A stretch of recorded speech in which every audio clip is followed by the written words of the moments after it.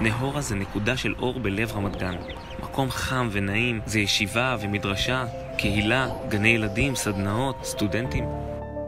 אני בדרך כלל מגיע לכאן עם אה, פרצוף אה, נפול, נבול, דלול, ויוצא קורן. פה מצאתי את היכולת באמת להיות אני כמו שאני רוצה.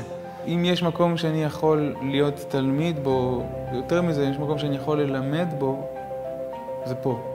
היום כל אחד מחפש את הנקודה שלו. לא רלוונטי בכלל מה אני חושב.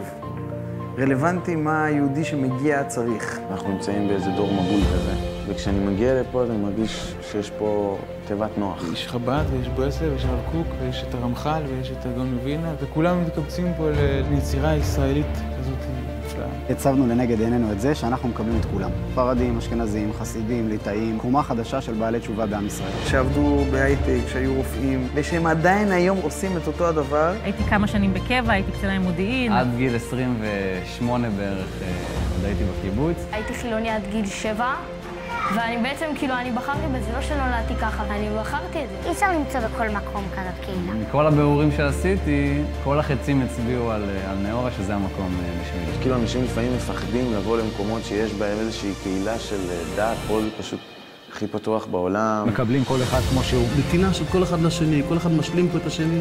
משהו שזה לא קיים בשום קהילה. איזשהו קסם כזה בשיעורים, ש... שאתה יוצא מפה עם... עם משהו. אני קופצת לשמוע שיעור עם הבחורות הנחמדות שנמצאות שם. אמא שלי התחילה גם ללכת לשיעורי יהדות ולעשות קידוש בבית. חבר'ה שמעולם לא פתחו גמרא, רק שמעו על זה אולי.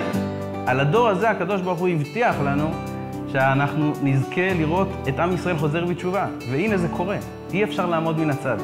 אין דבר יותר גדול מקירוב לבבות. הבנתי שיש לי פה בית. החלום שלנו, שנאורה תגדל.